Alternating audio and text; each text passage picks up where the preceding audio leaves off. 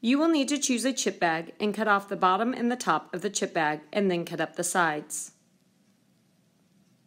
You will then need to wipe off any grease that may be on the inside of the bag. Then take a permanent marker and trace around your chip bag onto a piece of material. Then cut out both pieces of material.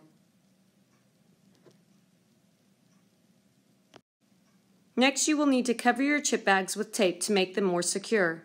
Do this on the front and back side and trim off the extra tape. Then take your piece of material and flip it face down. Keep your chip bag face up. Your zipper needs to be face down. Pin them together and sew. You will do this on the opposite side as well. Next, you will unzip the zipper halfway and pin all sides and sew all sides, with the exception of the zipper side. Next, you will trim the corners, trim off the extra zipper, unfold your pouch, and there you have your chip bag pouch.